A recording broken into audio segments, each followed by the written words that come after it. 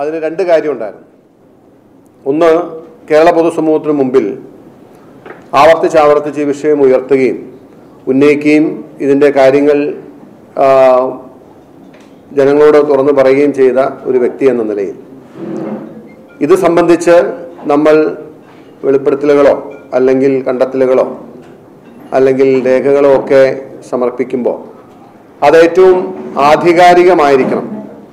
അത് ഏറ്റവും ഉത്തരവാദിത്വത്തോടു കൂടിയുള്ളതായിരിക്കണം എന്നതുകൊണ്ടാണ് നിയമസഭ എന്ന വേദി തന്നെ ഇതിന് തിരഞ്ഞെടുക്കാം എന്ന് ഞാൻ വിചാരിച്ചത്.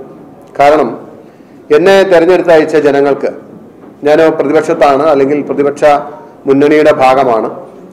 പ്രതിപക്ഷ രാഷ്ട്രീയ പ്രവർത്തനത്തിൽ ഒരു സാമാജികൻ പുലർത്തേണ്ട എല്ലാ മര്യാദയും അല്ലെങ്കിൽ എല്ലാ ധാർമ്മികതയും പുലർത്തിയാണ് ഞാൻ മുന്നോട്ട് പോകാൻ പരിശ്രമിച്ചിട്ടുള്ളത്.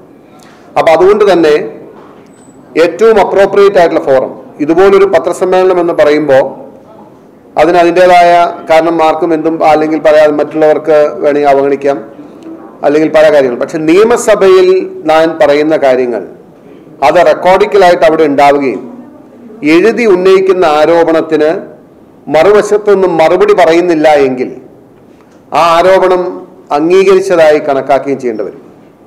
അപ്പോൾ എഴുതി ഉന്നയിക്കുന്ന ആരോപണം ഞാൻ മുഖ്യമന്ത്രിക്കെതിരെ പറഞ്ഞാൽ ഒന്നുകിൽ മുഖ്യമന്ത്രി മറുപടി പറയണം അതല്ലെങ്കിൽ മുഖ്യമന്ത്രി എന്റെ വാദം അംഗീകരിക്കണം. ആ മുഖ്യമന്ത്രിക്ക് മറുപടി പറയുന്നതിലുള്ള ഇൻകൺവീനിയൻസ് പ്രയാസം ബുദ്ധിമുട്ട് ഒഴിവാക്കുന്നതിന് വേണ്ടിയിട്ടാണ് സ്പീക്കർ. ഇന്നലെ എനിക്ക് നിയമസഭയിൽ എനിക്ക് അനുവദിച്ച് കിട്ടിയ സമയത്ത് പ്രസംഗത്തിൽ ഈ വിഷയം ഉന്നയിക്കാൻ എന്നെ അനുവദിക്കായിരുന്നു. ഞാൻ എനിക്ക് എനിക്ക് എന്റെ പ്രതിപക്ഷ നേതാവിനോടും അതുപോലെ ദീർഘകാലമായി ഇരുപത്തഞ്ച് വർഷത്തിലേറെ നിയമസഭയിലുള്ള parliamentary party secretary A P അനിൽകുമാറിനോട് അടക്കമുള്ള മ- ന- മുതിർന്ന എന്റെ സാമാജികരോടും സഹപ്രവർത്തകരോടും ഞാൻ ചോദിച്ചു. ഇതുവരെ എഴുതി കൊടുക്കാതെ അഴിമതി ആരോപണം ഉന്നയിക്കാൻ ശ്രമിച്ചപ്പോൾ സ്പീക്കർ തടഞ്ഞിട്ടുണ്ട്. പക്ഷെ എഴുതി കൊടുത്ത് അഴിമതി ആരോപണം ഉന്നയിക്കുന്നതിന് ഇന്നുവരെ ഇതുപോലൊരു തടസ്സം ഇന്നുണ്ടായിട്ടില്ല എന്ന് പറയുകയുണ്ടായി. ഞാൻ ആദ്യമായി വളരെ പ്രയാസത്തോടുകൂടി പറയാൻ ആഗ്രഹിക്കുന്നു സ്പീക്കർ.